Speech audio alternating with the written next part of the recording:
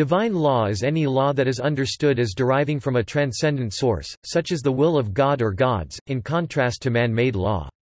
Divine laws are typically regarded as superior to man-made laws, sometimes due to an understanding that their source has resources beyond human knowledge and human reason. They are accorded greater authority, and cannot be changed by human authorities. Divine laws are noted for their inflexibility.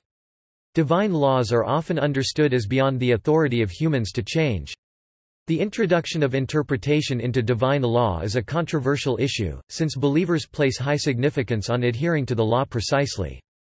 Opponents to the application of divine law typically deny that it is purely divine and point out human influences in the law.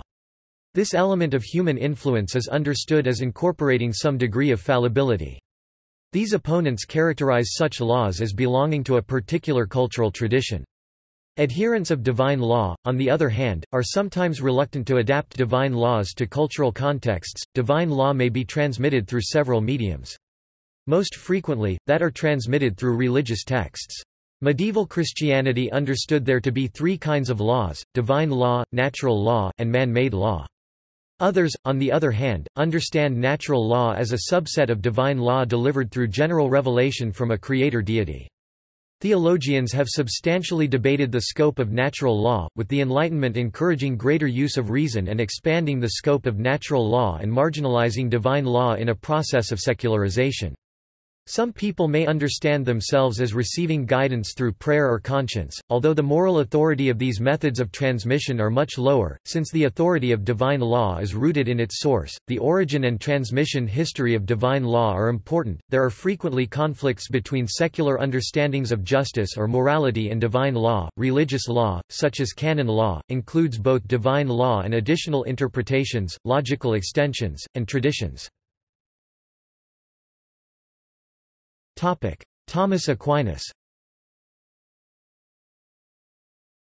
In Thomas Aquinas's treatise on law, divine law comes only from revelation or scripture, hence biblical law, and is necessary for human salvation. According to Aquinas, divine law must not be confused with natural law. Divine law is mainly and mostly natural law, but it can also be positive law. See also Biblical law in Christianity. Glossary of Ancient Roman Religion Section Ius Divinum. Law and Religion. Mitzvah. Morality and Religion. Regulative principle of worship, debate over the scope of divine law in 17th-century English Christian practices. Rule according to higher law.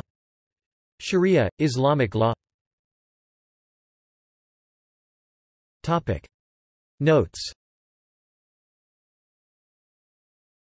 Topic. Citations Topic. References Topic. Further reading